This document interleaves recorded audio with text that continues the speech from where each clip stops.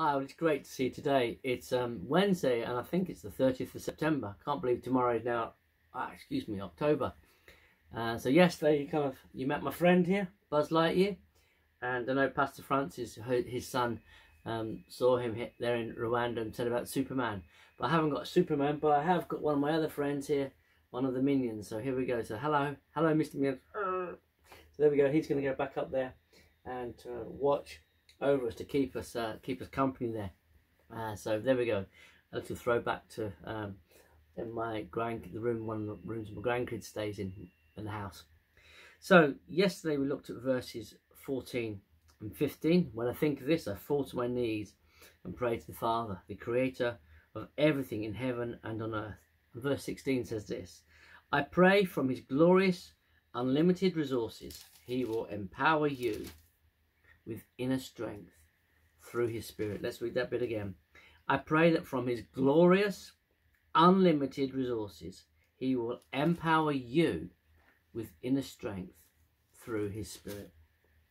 So first thing to say really is this, is that God has, um, he, he's all powerful. He's all powerful, he's all knowing, and he can be everywhere all at the same time.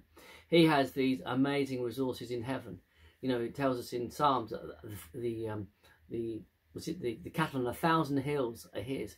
God has infinite resources. God remember God spoke and the world came into being. Think about heaven. Heaven, it's it's it, you know, uh, we used, to, we used to think heaven is a wonderful place filled with glory and grace, but also it's a place where it says about it says that the, the streets are made with gold. There's there's no suffering. There's no you know, there's no pain there. It's an amazing place, and God has all these amazing heavenly resources. And these are available to us. These resources are available to us through the Holy Spirit, but these resources are available to us. And God says you don't have. Why? Because you don't ask. You don't ask. Because so so we need to ask God for the resources um, to to do the job, to do what God has called us to do. And it says He will empower you. So it's quite fitting that I've got Buzz Lightyear here. So we live in a world which is kind of quite focused on um, and, and quite imaginary in terms of the, the people having superpowers and super this and super that. And we kind of think of, oh, that's what we need to, oops, oops, they've fallen over. Oh dear. Maybe they're not quite so super after all, eh? Uh, so, um, but we're kind of obsessed with the world, which is, you know, the thing about having superpowers or being super strength and um, and that's, that's what's important in life is having strength, having money, having you know having all these kind of things seem to be the, the issues that are really, really, really important. Well, first thing is this: is actually is that God will uh, his resources are unlimited, they are available to us, and He will empower you and me. He will empower you and me if we ask Him uh, I was reading in John's Gospel just the other day, and it said about how um, he said about how um, because he did what the Father, he, he, loved the Father, and he did what the Father did. He said the Spirit was upon him un, in an unlimitless fashion, something like that, or un, the Spirit was upon him unlim, you know, unlimit, with no limit. And if that's available for him, that should also be available to us. It's technically feasible for us. We just need to live right all the time. Um, but the spirit without measure, that's it. The spirit without, you know, boundless, um, unlimited. And God empowers us. How? Through His Holy Spirit. Through His Spirit, He empowers us with strength. And is that strength like, yes, we read about in, in the Old Testament about Samson, God, because he took a Nazarite, he had a Nazarite vow, he didn't, which meant he didn't cut his hair, he didn't drink alcohol, or supposedly didn't drink alcohol, um, although we know he did at times. Um, that actually he had this, if you like, superhuman strength. But actually here it's talking about how God will empower you, what with?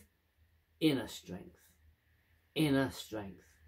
So that we could be able to, you know, at the end of all these things that happen, at the end of all these trials and all these tribulations, what? That we will be able to stand. This quiet strength that even though people might be criticizing you, even though people might be slagging you off, even though people might be persecuting you, that actually, with that quiet strength, just to say, I love Jesus, I'm following Jesus. I know in various parts of the world, I know um, friends talk about things in India through through our connections there with Ampart and PTL, talk about how people are persecuted and they're persecuted for the faith and they they put pressure on and they try and and they they, they hurt people to uh, to make them to, to renounce their faith.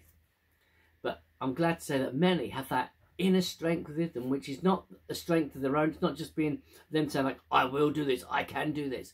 No it's being empowered by the holy spirit to have that inner strength to, to, to, to be able to stand against adversity to stand against difficult times to stand even though we're in the midst of the storm, even though all kinds of stuff is blowing around, going on in us, with this quiet strength, that inner strength, to be able to stand. And at the end of everything, to stand. And this is how one of the ways that we can show that our people that our faith is real. They can look and see all, all the things we're going through, but still we're here and we're standing. We're not yielding to the pressure. Why? Because we know that in the end, ultimately, God is good. God is good. God loves us. He has a plan of salvation for us. And one day, one day we'll be with him. One day we'll be like him. One day we'll see him as he is. Talks about these light and momentary troubles will be part will be gone. We'll still you know they'll be in dim distant past. And we'll be there with Jesus, with with God the Father, with the Holy Spirit in heaven. So I would say to you today, seek the Lord. If you if you need strength in areas, if you need something, ask Him, because He's got unlimited resources. He will empower you, because He's a good Father. If you ask Him, He will give you good gifts, and empower with that inner strength by the Holy Spirit that you can stand. Let's pray today that you and I, me, each one of us, will be able to stand for God, stand for truth, stand for life, stand for righteousness. In Jesus' name. Listen, hope you have a great day today. Take care. God bless. I'll see you again tomorrow on Thursday, and I hope you have a brilliant day. Amen.